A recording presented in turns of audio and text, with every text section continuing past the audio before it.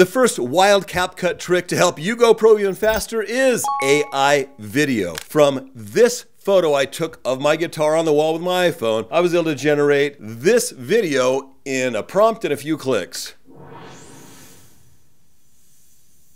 And there's a little more. Let me show you how to do that right now. This photograph is vertical, this is horizontal. To make it a little easier for CapCut's AI video generation, I wanted to make that a horizontal image without the background. It could work like this, but this just helps. So to do that, I just click on this guitar, I click on video, remove background, I click on auto removal, and it cuts out the guitar. And I want to export this as a still image with no background, horizontal, a 16 by 9. So to do that, I right click on this, this, I choose create compound clip so it sees it as one landscape image that is 16 by 9. And then I click here in the top right and I choose export still frames, give it a name, and I hit export. To create a video of that guitar that rotates in 3D space, I simply click on media, AI media, and I go to AI video. It'll default here on AI image, but you're gonna click on AI video. You import the image that you just created. I will grab it from right here in your free downloads. By the way, all of the elements I use in this video video are available for free download in the link below. Plus, I'm going to include 100 free sound effects. Version 2, if you don't have version 2 yet, version 1's been out for a while, but version 2 is down there below. There's actually over 100 free sound effects. You want to download those as well. Now, let's go ahead and bring that guitar with no background into CapCut right here. And then we need to give it a prompt. Using ChatGPT, I had AI help me create a prompt that'll generate a cool video. It's this one right here. You can pause to read this if you want to. And I'm going to copy and paste that into here here. And then I just hit generate. And when I'm done, it'll kick out a video that looks just like this one right here, including the sound effects and all of these lighting effects. Do you have any idea how complicated that would be for the 3D animators we had at the last place I worked to create that, even in Hollywood, like high end tools? It's crazy. Let me show you one other thing I created with AI video. If you have a logo that you want to animate and make look super cool and professional, I just took this Coca Cola logo and using the same steps I just showed you, I used this prompt right here. You can stop the video if you want to read that. And with that prompt, I created this.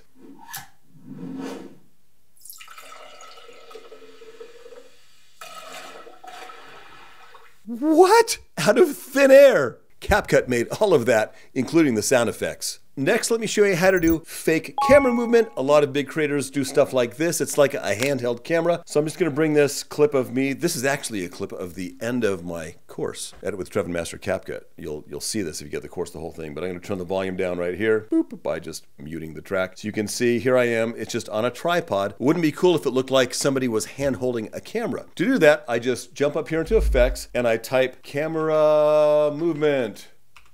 You don't have to be all caps and bam, you get this thing that says camera movement. I drop this thing right onto the clip, and because it is highlighted here, if it's not highlighted, you just click on this little star right here, so the camera movement thing is active. And by default, looks like this. Not, you know, if you're doing some crazy stuff, it's fine, but for we want, we want to turn down the size, the glow, and the blur, and the strength, and get something you want. The speed you want to slow down a little bit, maybe strength up a little, and you get something like this. What? Looks like somebody's hand holding a camera. While I have this clip in the timeline, let me show you how to do picture in picture like you're watching here. I'm in the corner of your screen half the time. Let me show you how to do that super easily in CapCut. We're going to use this same fake camera thing and drop another clip underneath it. How about this clip of naturally sailing? Here's a sailboat.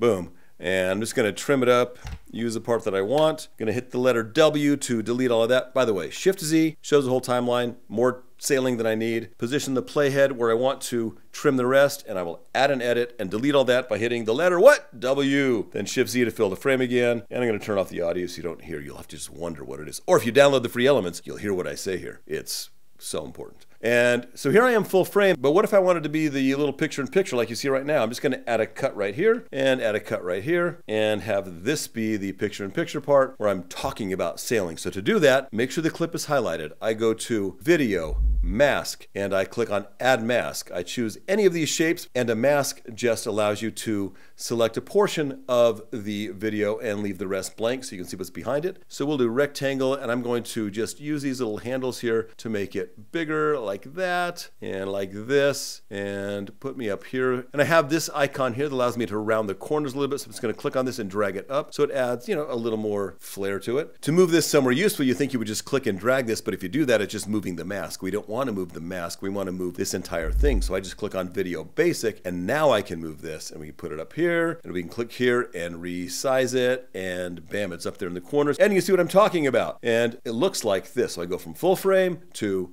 bam, I'm up here talking in the corner and back to full frame again. Have you seen those videos from the likes of Vox and Johnny Harris where they highlight text? Super easy to do in CapCut. Go ahead and grab this newspaper article included in your free downloads, and we're just gonna scale it up a tiny bit so we can find something that we want to highlight. And notice that this is a newspaper article from what is that, 1932? Holy cow, that's old. It's older than me. We're gonna highlight this line right here. And to have more precision control over it, I'm going to zoom in on it using this little zoom wheel right here, bam. And then to get up to the area we want to highlight, I'm going to click on this little blue square here and it puts it right where I can see it and it gives me access to it. Before I start highlighting this, I want this newspaper to be a little more contrasty so the highlighter stands out more because we're going to highlight it with this yellow and this is kind of yellowish and it'll make this hard to see. So to do that, we're just going to make sure we have the newspaper highlighted. We click on adjust and we're going to go down here to temp and make the temperature a little less yellow, a little more blue. So I'm going to just drag this this way a little bit, and then I'm going to bump the exposure up a tiny bit and drag highlights up a little bit and whites up a little bit. So the whites are a little whiter, the blacks are a little blacker. I think that looks pretty great. It looks like an old newspaper, but now it's going to be a little bit easier to see and read. Next, I'm going to drag this yellow highlight JPEG onto this clip, and then we're going to position it over everything, and we're going to make sure it's highlighted in the timeline. We want to be able to see through it so we can draw over it the area we're going to highlight. We should select Video, Basic, and go down to Blend and just turn the opacity down about halfway so you can see what's going on. Next, we're going to go to Video Mask and click Add Mask and click the pen tool so that we can draw the shape we want. Now, we could use a square, a rectangle for this and position it over there and scale it the right amount, but we're going to do something that makes it a little more interesting. We're going to just click and draw around this, and it doesn't have to be perfect. We want it to look like a real highlighter, not just like a straight line. So we're going to do it, you know, a little bit rough so it feels natural, like this. And bam, that looks pretty darn good. Next, we want to go back to basic and turn the opacity all the way back up so we can see what's going on. Then we want to make this into a compound clip so we can add another mask that we can animate. So I'll just right click it and choose create compound clip. And I'll jump back over here to video mask and I'll click add mask and I will choose split. And it's hard to see where that guy is because this is white, but it's right. Then you want to go back down here to this magnifying glass and click on this line so it zooms out and we can see the mask. And we're going to flip it over like that have it at 90 degrees. Come on, baby, log in. And we're going to move it over here to the left a little bit. We're going to position our playhead, I don't know, somewhere around right here. I don't want this to start highlighting right away. I want to wait about that long, actually maybe more about that long. We're about 18 frames in before it starts to animate so we can see this full newspaper. Maybe we add some motion later. And then I'm going to click over here under position and set a keyframe. Remember, a keyframe marks the beginning or the end of a change in a property. And the property we're changing is the position of this mask. And I'm going to feather it a little bit by clicking this guy here. That's going to add a little feather so it looks more natural. And I'm going to move the playhead forward, I don't know about this far, for it to highlight from here to here. And I'll drag this over and bam, we highlight the whole thing from this this point to this point, and it looks like this. That's, I like that speed. If you wanted to go faster, you would just move this keyframe closer like this. And if you wanted to go slower, you'd move the keyframe farther away like this. Bam. For me, I like it, I don't know, right around here. And that looks great, but I can't see the text. How do I do that? I go back to Video Basic and I select the mode as multiply. And now, bam, you can see right through it. Looks like really natural. Look at this. What? That looks really good. Now we want to add a little bit of motion to this really easily. So I select both of these clips. I right click and I choose Create Compound Clip or a subclip. And by the way, in the past, you could only have one compound clip. You couldn't nest clip after clip, but now you can. So thank you, CapCut, for that update. And to make this move a little bit, we just want to go to animation, make sure you have combo selected. Any of these would work with this, but some will work better than others. Let's go ahead and scroll down and find one called Funhouse. And if you don't find Funhouse, try some others. They're constantly changing, updating, removing these, so you may or may not have that. Also, the effects vary by region as well. So if you don't see it, don't freak out. There's other things that'll work. This one I like, I'm gonna click on it and see what it does.